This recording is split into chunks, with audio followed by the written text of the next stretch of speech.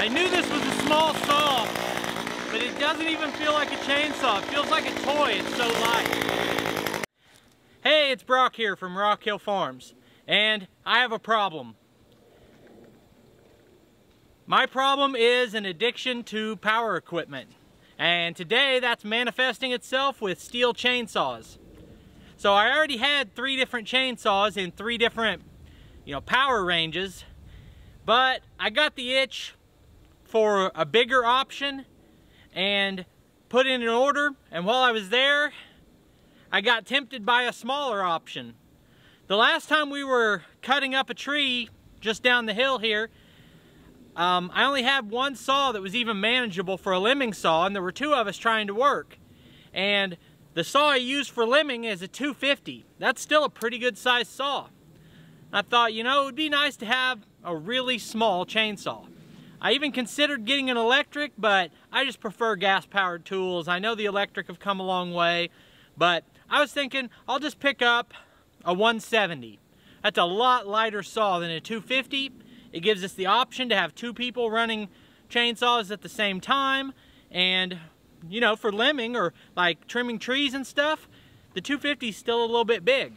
So I was going to get a 170. And then I saw this little guy. And fell in love. Said, I, have got to have it. This is the Stihl MS 194T. Now the 170 that I was thinking about getting weighs like 8.2 pounds. This weighs like 7.6 pounds. Feels pretty similar, honestly. Like that half pound doesn't seem like it should be enough to really make a difference because this saw cost a lot more. But the thing about the 170 is it's a traditional shaped saw. So you got a handle back here and all your weight is out here. So you can't handle it the way you can this little guy. This is a top handle saw. So the weight is balanced. It's, it's easy and comfortable to hold with one hand. And if you're on a ladder or you're on a lift or up in a tree and you need to trim a, a branch, you can. And then if you're walking down a tree limbing, you can still use two hands to not wear out your other shoulder. So I thought that's perfect. And if you're not familiar with top handle saws, what they're really designed for is climbers. They take this hook back here and they, they clip the saw onto their belt and actually can climb the tree and have their hands free from holding the saw. But I don't plan on doing any climbing anytime soon, but I still thought it would be nice to have a one-handed saw. So the benefits are clear. It's lighter weight, it's easier to handle. The downside is it's a small saw. It doesn't have a lot of power and it's gonna cut really slow. This is a 30cc saw I believe that my 250, the smallest saw I currently have is 44 cc's and the 170, I can't remember. I was thinking it was like 39 or 37. I was completely wrong on the engine size on the 170. It is a 30 cc saw, exactly like the 194 is. So when I buy a small engine saw, I'm not gonna do a time test to see how fast it cuts like I do on all the bigger saws. I'm just gonna see if it feels sufficient when I'm trimming these small branches. So most of everything looks pretty familiar on this. The trigger's a little different and the choke is a little different. So I'm gonna check those out. I'm gonna look at the owner's manual, see if there's anything I need to know. I'm gonna go ahead and put fuel and bar and chain oil in it. Then I'll give you an update if there's anything really interesting in the owner's manual. Then we'll go cut some stuff up.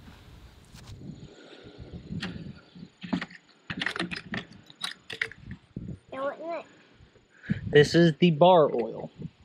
Do you want to pour it? I'll help you pour it. Okay. Or you want to hold the camera while I do it? I hold the camera. Okay, point it at it.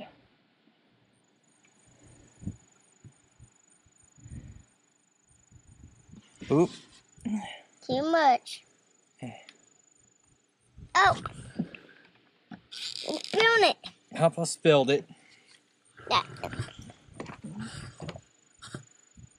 All right. Well, we spilled a little bit. I think you're supposed to, right? After reading the owner's manual, I do see something that's unique or different. So down here, you got your primer bulb like normal. Here, instead of having three positions, you have a choke and non-choke. All my other saws automatically turn the choke off when you um, pull the trigger. This one does not do that. So that is one difference. Now we're going to put it in the choke position because it's never been ran. But the other thing that's different is this top button right here. So you have a, a saw stop by pushing that forward, then you have a run position, and then there's like a throttle lock position that you can squeeze these and pull that back. And now it's in a throttle lock position. It seems like you wouldn't ever want to lock the throttle on on a chainsaw. But this is used for starting the saw. I don't know why it's set up that way, but it is something to be aware of. So it says to push the primer bulb 10 times. Seems a little excessive. I usually do like three, but maybe I've just never read that part of the manual. Okay, now we're choked. We're in the throttle lock position. We have the bar lock on, or the brake on. Let's start it up. Okay, now it tried to fire, so we'll turn the, the choke off. I'm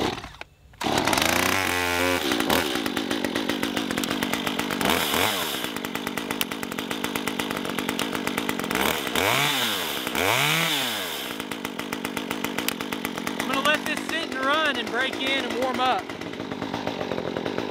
It's really weird to me that that doesn't have a half choke setting. I've got a ton of Stihl products from weed eaters and edgers and blowers. I've got the backpack and the handheld blower, four chainsaws. That's the only thing that I have that doesn't have a half choke.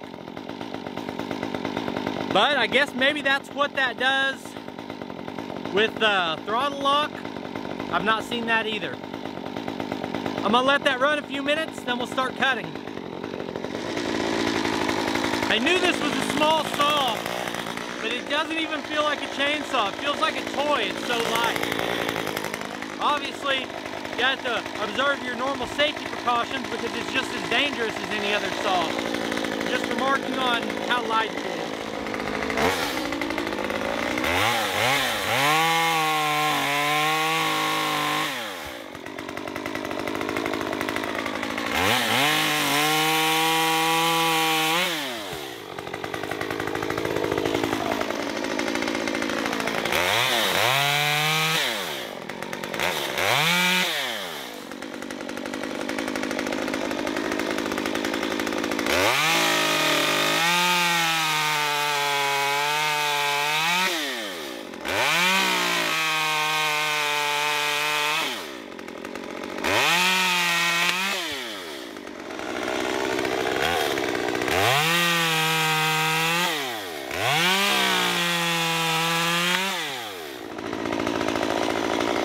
Trying to mow through this area really sucks because of the way these branches hang. I'm gonna clean these up.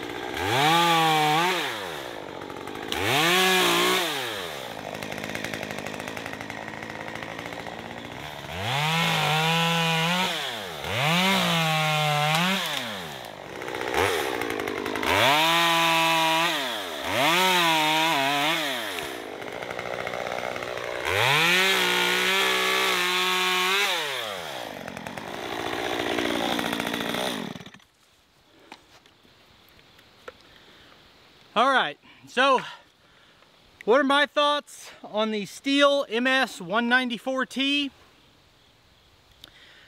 It's snappy, I mean, responsive, cuts quick. I don't have any issues at all.